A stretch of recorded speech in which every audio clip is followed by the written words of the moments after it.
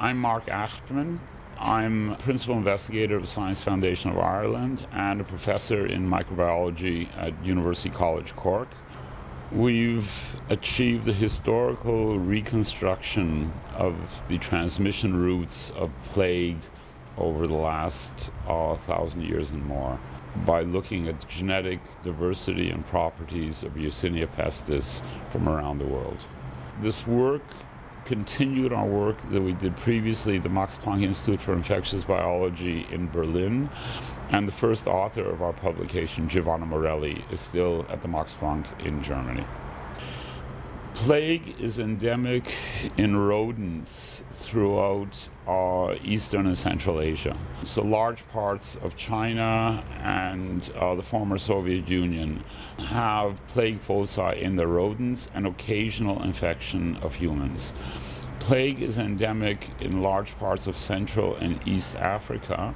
In fact, just a few months ago, there was an outbreak of pneumonic plague in a mine in, um, in Congo, which led to such panic that people scattered immediately.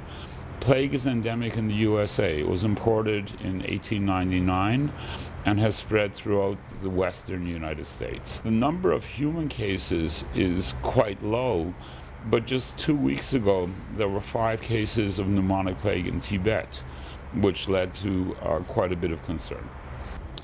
What it's shown us, firstly, is that it is possible under special conditions to reconstruct history from genetics for an epidemic bacterium, which has not been done at this level before.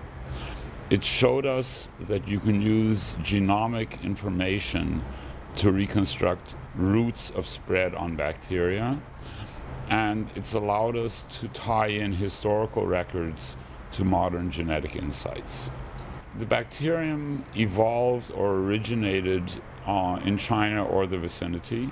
That is quite clear. Um, it's spread from China on multiple occasions.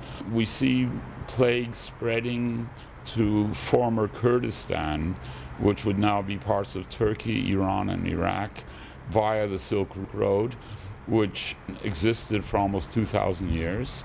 We see plague arriving in, in Africa about the time, a little bit before the time of Columbus, probably accompanying Chinese uh, voyages, enormous voyages, and possibly in greatest detail, we tracked the various routes of spread of the last pandemic, which was exported from Hong Kong in 1894. And we see that going to India, we see it going to Madagascar, we see it going to the US, to Africa, to all over the world. And each of those routes is now shown by the genetic information. We think we can understand which of these bacterial groupings were responsible for which of these uh, pandemic events. The one that we're missing is Justinian's plague, which led to the fall of the Roman Empire, and we're not sure about that one, but we think we have most of the others now.